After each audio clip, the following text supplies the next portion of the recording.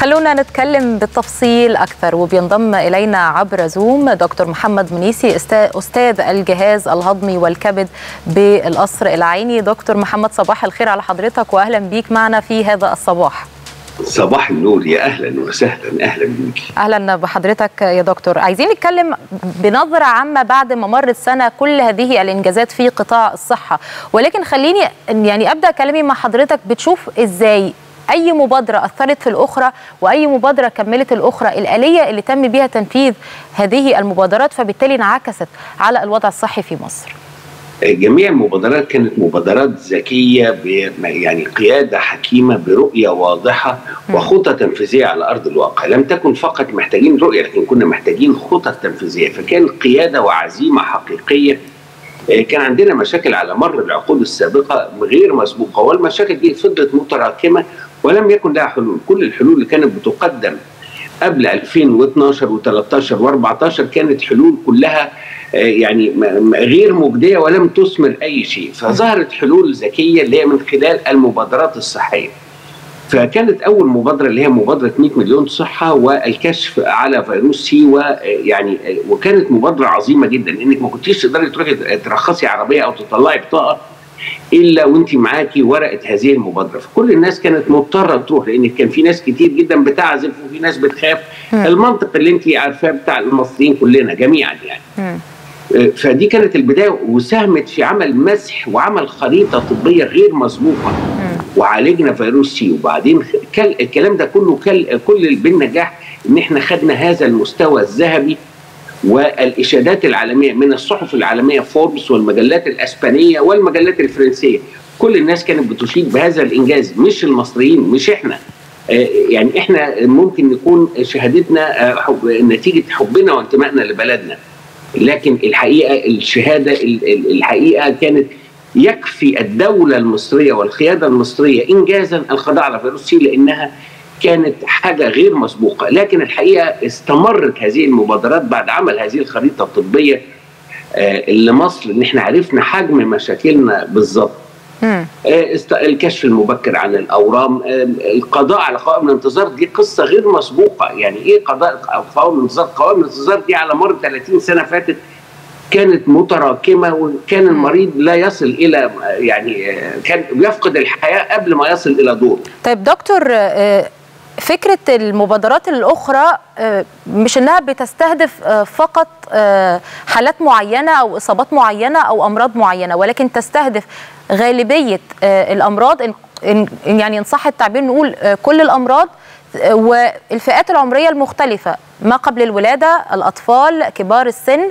وقوام الانتظار والعلاج على نفقة الدولة وغيرها من كل ما يحتاج رعاية صحية بشكل ما بتقدم له من خلال هذه المبادرات. الحقيقة بالفعل هو ده. فإحنا وإحنا بنتكلم بنتكلم على إن المبادرات دي كانت فكرة متكاملة وقتية سريعة لحلول موجهة بإمكانيات كانت بسيطة لكن الحقيقة شفنا نتائج غير مسبوقة لأن الفكرة عظيمة وقيادة حكيمة نعم. وخطة تنفيذية على الأرض. فطبعا كل الكلام ده في النهاية هيصب في منظومة التأمين الصحي. اللي إحنا برضو ودي النقطة اللي عايزة أروح مع حضرتك ليها ختاما. يا دكتور التأمين الصحي إزاي بتشوف إن هو الأداة اللي بتكلل آه هذه المسيرة والجهود في القطاع الصحي وختام هذه الجهود إن هي أداة فعلا إصلاح مستمر وحرص على الصحة آه لكل المصريين؟ المبادرات دي إجراء مؤقت يعني لحلول منتظمة لحين القضاء على هذه المشكلة والاستمرار فيها لحين إن إحنا نخش في منظومة متكاملة اللي هي منظومة التأمين الصحي بالثلاث قطاعات قطاع التمويل وقطاع الرقابة اللي هي الجهار وقطاع مقدمي الخدمة. الرقابة بتضمن إن مقدمي الخدمة هيكونوا على أعلى مستوى بالمستويات العالمية. وإحنا شفنا الكلام ده في المراحل الأولى من التأمين الصحي إن البنية التحتية على المستوى العالمي بما فيها التجهيزات والمستشفى وشكل المستشفى والأداء فأنت بتخشي أي مستشفى من المستشفيات اللي خدت موافقة الجهار سواء من القطاع الخاص أو القطاع العام إنها على أعلى مستوى بالمعايير العالمية. صحيح. الكفاءات الطبية إحنا بنضمن الجهار بيضمن إن الأطباء دول على أعلى مستوى شهادات عالمي تعادل الشهادات العالمية وتدريب عالمي. سواء الأطباء ومقدمي الخدمة من الفنيين والمعاوني هذه الخدمة.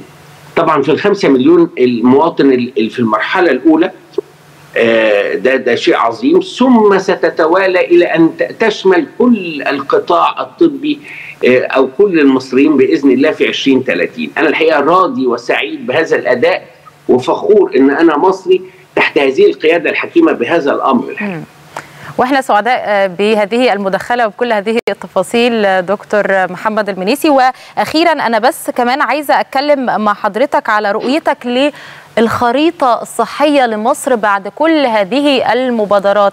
صحة المواطن الوعي اللي أصبح كمان موجود عند المواطن إنه بدأ يعرف إن في أنواع من الأمراض معينة في وقاية من خلال كشف مبكر بطريقة معينة. هذا التحول في الوعي عند المواطن المصري كمان حضرتك بتتوقعه هيبقى إزاي قدام كنتاج لهذه الجهود؟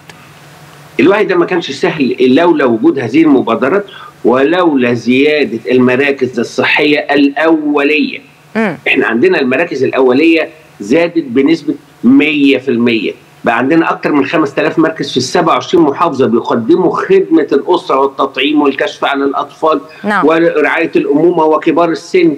آه ده, ده شيء مش سهل. يعني اللي بيحصل تطور غير مسبوق وسريع. أنا مش عايز أقول لك إن مراكز غسيل الكلى 735 مركز.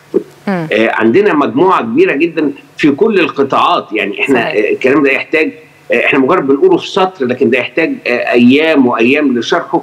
واللي شفناه بقى على أرض الواقع اللي إحنا بنذكره على يعني نتيجة أرض الواقع ده كبير جدا وإنجاز غير مسبوق. وشفنا إشادة منظمة الصحة العالمية بأداء مصر في أزمة كورونا. طبعا. ده ده إشادة أخرى. صحيح. طيب دكتور محمد أنا برضو عايزة أتكلم مع حضرتك في نقطة أخرى لها علاقة بالوعي ولكن بشكل مختلف. ما يتعلق بالوعي لدى الأم الأسرة تنظيم الأسرة الحرص على توجيه الوعي في هذا الجانب؟ نبدأ نشوف تبعاته في معدلات الزيادة السكانية نبدأ نشوف انعكاسه بعد كده على المستوى الاجتماعي عند المواطنين. شفت الجهود في السياق ده إزاي؟ طبعا الجهود دي كانت واضحة لأن مع زيادة هذه المراكز مع زيادة المراكز الأولية لطب الأسرة م. والتعريف وال والإجراءات اللي إحنا خدناها يعني لما قلنا المبادرات بتاعة الأم اللي هي كشف مبكر على الأورام دي ما كانش سهل إن أنت تدخلي كل هذه السيدات صحيح. وإن هذه السيدات تقدم على هذا الأمر لا لا كان في مجهود كبير علشان تحركي هذه ال ال ال ال ال ال ال الأفكار القديمة من الناس. وتبتدي الناس تتفاعل مع هذا وبعدين تدي ثقة في الدولة. الناس ما كانش عندها ثقة في النظام الصحي. النهارده بقى في ثقة عظيمة في النظام الصحي. صحيح. يعني حصل نوع من التحول لأن أنت كان عندك تاريخ قديم صعب وقاسي لكن النهارده بقى في حاجة تانية أخرى على أرض الواقع. صحيح. الناس ابتدت تتفاعل وشافت الكلام ده على الأرض. صحيح يا دكتور في تحول على الأرض الناس شافته سواء في مختلف المحافظات أو في القرى. يمكن في مختلف الزيارات لمحافظات وقرى مختلفة لرصد ما يتم من جهود لحياة كريمة. شفنا الوحدات الصحية إزاي اتطورت وأصبحت على أعلى مستوى. أنا بشكرك شكرا جزيلا دكتور محمد منيسي أستاذ الجهاز الهضمي والكبد. بشكرك يا فندم.